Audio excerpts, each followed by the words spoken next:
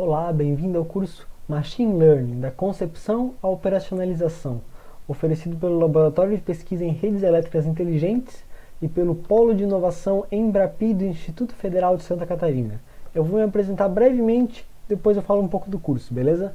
Meu nome é Leonardo Benites, eu sou estudante de Engenharia Eletrônica, pesquisador do LabSmart no IFSC e colaborador, colaborador da Rank Smart, da Heim University of Applied Sciences na Finlândia. Como é que vai ser esse curso? Nesse curso a gente espera passar um pouco, de, um pouco de todo o ciclo de vida de Machine Learning, do começo ao fim de um projeto. Então a gente vai começar falando como é que a gente concebe um problema, como é que a gente olha uma situação real e define esse problema em termos de um problema de Machine Learning, que seja resolvível por Machine Learning. E a gente vai terminar aqui falando como é que a gente pega essa coisa que a gente desenvolveu, esse sistema, esse modelo, e bota para trabalhar bota para funcionar, operacionaliza, faz o deploy desse modelo. Então, na primeira aula aqui, a gente vai falar um pouquinho do que, é Machine Learning e Inteligência Artificial de uma forma geral. A gente vai mostrar as aplicações, tudo mais, e a gente vai fazer um exercício prático para você ver como é que a coisa funciona. O objetivo desse curso não é focar em código. Você não precisa ser proficiente em nenhuma linguagem. Aqui a gente vai usar Python, poderíamos usar outras, você não precisa ser proficiente em Python, você na verdade não precisa nem saber programar. Se você não sabe nada de programação, eu ainda recomendo que você assista esse, esse curso e a gente vai explicando os códigos, você não vai sentir dificuldade. O objetivo desse curso não é ser um objetivo de programação, de técnicas de machine learning de uma forma profunda, é dar uma visão geral do que é machine learning, da área e motivar você a ir além motivar você, fisgar você, mostrar o que tem por aí, mostrar o que dá para fazer e sim, mostrar código, isso é importante. É importante mostrar como transformar essas palavras que a gente está falando em, em sistemas reais. Ao longo de todas essas aulas aqui, eu recomendo que vocês desenvolvam um projeto prático. Em cada aula eu vou ir passando guidelines, eu vou passando instruções do que, que vocês podem ir fazendo, o que, que vocês podem ir desenvolvendo e cada um pode desenvolver isso no seu nível de, de dificuldade, assim. Se você está começando na área de machine learning, nunca programou na vida, vão ter coisas para cada uma dessas aulas, para cada instrução que eu vou passar, vão ter detalhes que vocês vão podendo, vão ir podendo fazer, que vão ajudar o aprendizado de vocês, que vocês vão se motivar mais e gostar mais da área e ver a coisa funcionando e não vai ser difícil.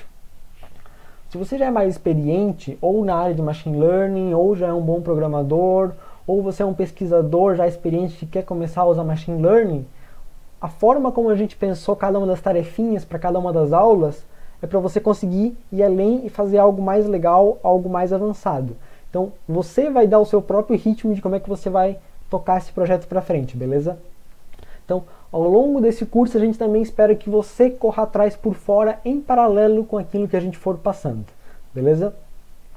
Outra coisa aqui que além dessas aulas, a gente vai estar tá passando um pequeno e-book, um livrozinho de algumas poucas páginas falando sobre machine learning e falando um pouquinho do que a gente for falando ao longo do curso, beleza? Para você ver como material de uma leitura auxiliar, os slides vão estar disponíveis, os códigos vão estar disponíveis, vai estar tudo para vocês poderem expandir e aplicar para outros problemas, beleza? Então aqui na, na segunda aula, depois desse overview geral, a gente vai ver como definir um problema, como escolher um algoritmo e entender algum, alguns algoritmos em específico. A gente vai estudar redes neurais artificiais, que é uma das técnicas de machine learning. Existem várias técnicas, a gente não vai ser extensivo nisso. Na segunda aula, a gente vai ver como coletar dados. Então, dados são muito importantes em machine learning. Muitas vezes, em muitos cursos que tem por aí, as pessoas supõem que você já tem os dados na mão. Supõem que você está pegando dataset na internet ou que esses dados vieram para lá no seu colo por milagre. Muitas vezes não é assim. Muitas vezes você tem que correr atrás de mais dados, você tem que coletar os seus próprios dados. Então a gente vai abordar também o que seria o começo de machine learning, é trabalhar com dados. Então, saber visualizar, saber transformar, saber como gerenciar essa coisa, pelo menos ter uma ideia inicial se você vai precisar de um banco de dados, se você pode armazenar tudo no Excel, se você pode ir botando numa planilha e preencher na mão, ter uma visão inicial de o que, que você precisa para fazer um modelo de machine learning realmente. Você precisa de dados, então a gente vai ter essa visão. E aí na terceira e na quarta aula a gente vai passar, a gente vai mostrar para vocês um projeto prático com internet das coisas. Internet das coisas é a gente ter pequenos computadorzinhos, que a gente chama de microcontroladores, como por exemplo essa plaquinha aqui que tem um microcontrolador ali. Então ter pequenos computadorzinhos espalhados nas coisas, lendo e enviando informações e tomando, e tomando decisões inteligentes. Então a gente vai mostrar um projeto prático para vocês, bem simples, básico, vai explicar como funciona para você conseguir expandir isso para projetos mais complexos. O que esse projeto vai fazer é que a gente vai ler algumas, algumas variáveis usando o microcontrolador, enviar isso para um servidor web na nuvem, armazenar esses dados em um banco de dados, depois mostrar rapidamente, só para ter uma noção, esses dados em uma página web em tempo real e principalmente pegar esses dados e fazer um trabalho de machine learning com eles. Pegar esses dados que a gente estiver coletando e modelar um problema, transformar os dados e fazer o deploy desse sistema que a gente, que a gente desenvolveu, beleza? Então, esse projeto prático a gente vai mostrar para vocês é diferente do projeto que a gente espera que vocês desenvolvam. Isso aqui já está pronto, a gente vai só mostrar como as coisas funcionam, beleza? E aí, na quarta aula, a gente vai dar uma visão do que seria o final de Machine Learning. Depois que a coisa já está pronta ou quase pronta, como é que a gente entrega esse sistema? Como é que a gente mostra para os outros, se for o caso? Se você estiver fazendo pesquisa, por exemplo, você está interessado em mostrar o seu projeto para outras pessoas publicar artigos, publicar os seus datasets. Então como é que a gente faz para compartilhar os nossos códigos? Como é que a gente garante que nossos códigos são reproduzíveis, que aquilo que a gente está entregando para os outros realmente dá para dá ir além, dá para refazer o trabalho que a gente fez? Então, depois de tudo isso, a gente espera que você seja pelo menos proeficiente em entender, ler notícias de machine learning, entender como a coisa funciona e ter a visão de negócios, digamos assim, de pensar, bah, aqui dá para aplicar machine learning, aqui a gente consegue fazer alguma coisa interessante. Não, esse problema não é um problema para ser tratado com machine learning, é entender as limitações também de machine learning, ok? Então, agora o que a gente vai fazer é explicar brevemente o que, que esses monte de termos que a gente ouve por aí, aprendizado de máquina, inteligência artificial, visão computacional, ciência de dados, a gente ouve isso na mídia parece que é tudo sinônimo. Não são. Então, a gente quer dar uma desambiguada aqui nesse monte de termos, explicar brevemente e aí ao longo do curso a gente vai se focar em Machine Learning, explicar mais termos específicos da área de Machine Learning, mostrar como é que as coisas funcionam. Machine Learning é uma sub-área de inteligência artificial. Inteligência artificial é basicamente qualquer coisa, qualquer sistema computacional que tenha por objetivo fazer alguma coisa que, é no, que normalmente seres humanos fazem. Então seres humanos, por exemplo, interpretam imagens, interpretam textos, Seres humanos tomam decisões inteligentes. Então, se a gente quiser tentar replicar isso em um computador, a gente pode, pode botar o nome de inteligência artificial em cima. E machine learning é uma área específica de, de inteligência artificial, certo?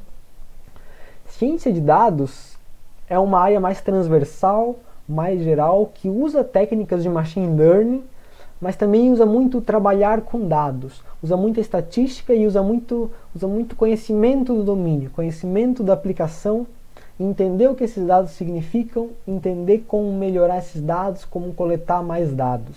Tem uma visão mais geral que envolve machine learning, usa bastante machine learning. Mineração de dados é uma outra área que está muito próxima de machine learning e às vezes também é confundido com um sinônimo.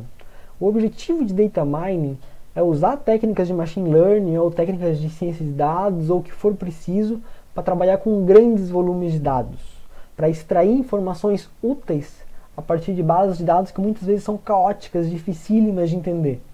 Então o foco para quem trabalha com data mining é desenvolver modelos, é desenvolver sistemas que sejam escaláveis, que consigam trabalhar com grande volume de dados, que sejam principalmente interpretáveis que a pessoa que está trabalhando, que o ser humano consiga aprender a partir daquela técnica de machine learning, consiga ter novos insights sobre o problema, beleza? E aí em volta aqui tem vários outros termos, redes neurais é uma das técnicas de, de machine learning, Python é só uma linguagem de programação como várias outras, então todos esses termos às vezes aparecem de uma forma confusa, como se fossem sinônimos, como se não importasse muito que palavra você está usando. E ao longo desse curso a gente espera mostrar para você que as coisas não são assim e mostrar o que, que tem para você ir descobrir além, para você ir além, beleza? Valeu pessoal, até a próxima!